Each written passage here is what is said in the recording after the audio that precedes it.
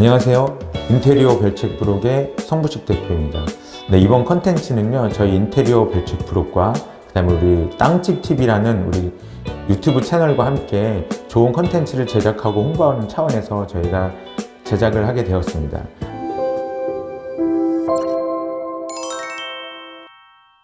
여기 현장은 춘천에 있는 롯데 인벤스 현장입니다.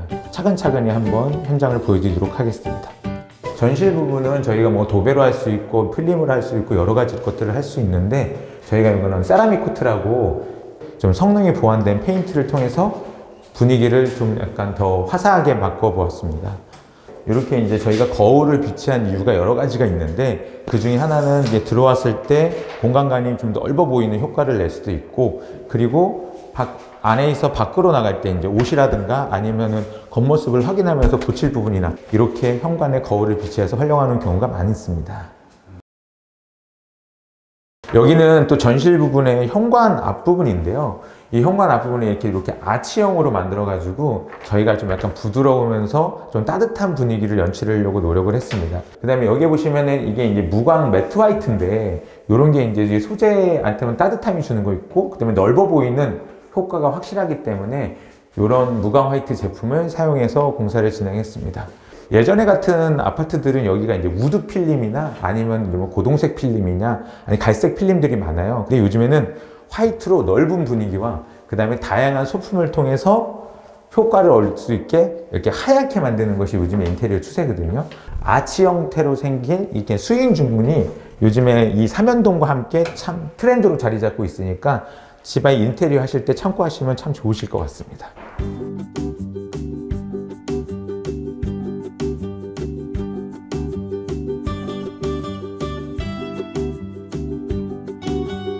화장실은 저희가 그래도 거실 다음으로 되게 중요하게 생각하고 있는 공간인데요. 가장 큰 특징은 이렇게 이제 여기에 이제 따뜻한 바람이 나오는 그런 기능이 있는 환풍기예요. 그래서 이제 화장실이 춥다거나 아니면 이럴 때 많이 사용하는 제품이라고 생각하시면 됩니다. 금액이 뭐 이제 시중에 나온 제품이 거의 이게 30만원에서 40만 원 정도 하기 때문에 거기에 인건비까지 들어가면 좋은 비용이 다소 좀 비싸다고 느끼실 수 있지만 추후에 만약에 리모델링을 하실 수 있다 그러면 이 휴젠트는 되게 유용하게 쓰시는 거에 많이 쓰시기 때문에 한번 사용해 보시는 것도 참 권장해 드립니다.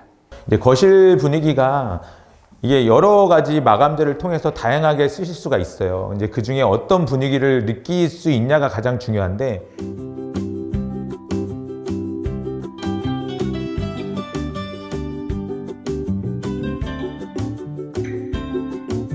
와이드 월 플러스라는 제품을 통해서 이렇게 이제 포인트 타일 대신에 대용으로 사용할 수가 있고 금액도 타일보다는 약간 저렴해서 쉽게 인테리어 할 때 활용할 수 있는 자재라고 생각하시면 됩니다.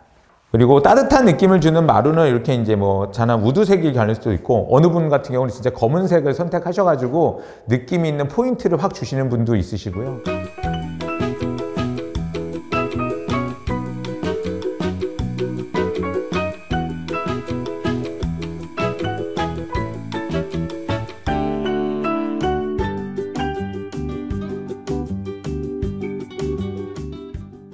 주방 쪽으로 가시면 바닥 타일은 이렇게 고급스러운 이런 톤들을 요즘에 고객님들이 많이 선호하세요.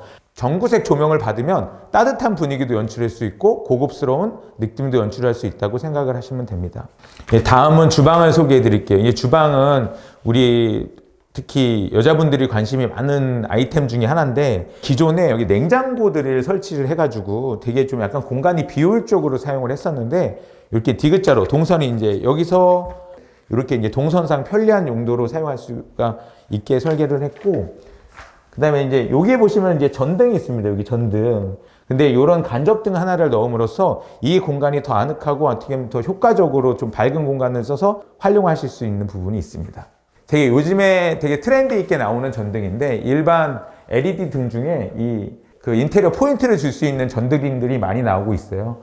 특히 집은 어떻게 생각하면 뭐 인테리어 여러 마감재들도 효과가 있지만 많이 고민을 해보시고 그 다음에 연구를 해보시고 같은 상담을 통해서 진행해 보시는 것이 참 좋습니다.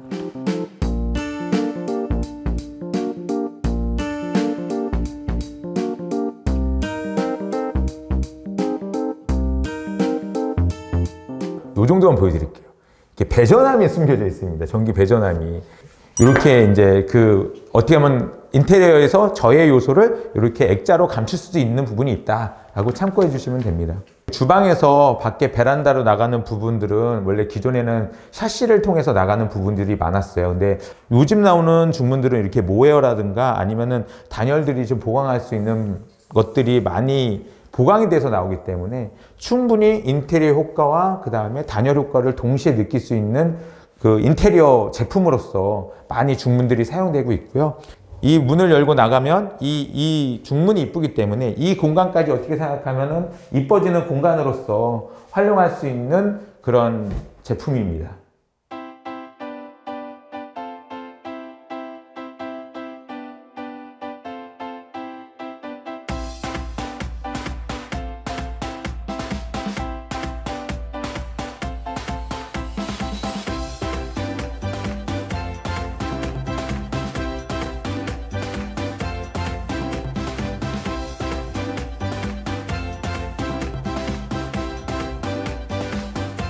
다음은 베란다를 한번 소개해 드릴게요. 이런 이제 화단인 공간이 있었어요. 근데 고객님은 편하게 그냥 이런 공간 없이 딱 깔끔하게 막고 싶어 하셔가지고 이렇게 깔끔하게 저희가 공사를 해서 타일로 마감을 해드린 현장입니다. 다음은 거실 부분에서 되게 포인트라는 공간이라고 소개할 수 있는 이 벽인데요. 요즘은 되게 심플한 거를 많이 원하세요. 그리고 여기에 이제 다양한 액자와 아니면 다른 소품들을 놓을 수 있는 공간을 활용하기를 원하시는데 저희가 이제 스팟 조명을 통해서 그 액자나 아니면 소품들을 살릴 수 있는 그 인테리어 디자인을 진행했다고 보시면 되고요.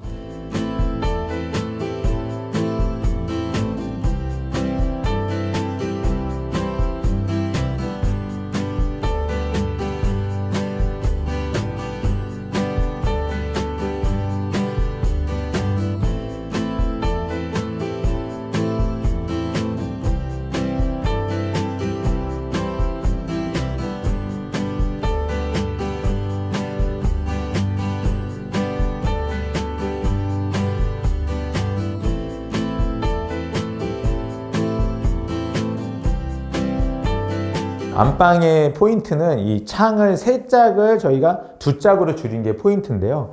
이쪽에 이제 가구나 소품을 두시려고 좀 아늑한 공간으로 만드시려고 가벽을 쳐가지고 이렇게 이제 더 아늑한 공간으로 만드시려고 노력을 했고 필수 창호만 저희가 이제 두 개만 설치했다고 보시면 되고요. 여기 붙박이 장은 저희가 이제 무광 매트 화이트 제품으로 설치를 했는데 여기 고객님은 반짝반짝거리는 그뭐 하이그로시 제품이 좀 싫으신 관계로 저희가 이제 무광 매트 화이트를 통해서 되게 이제 좀 약간 고급스러운가 반짝반짝거리지 않으면서도 되게 편안한 분위기를 연출하고자 이런 제, 이 제품을 선택을 하셨습니다.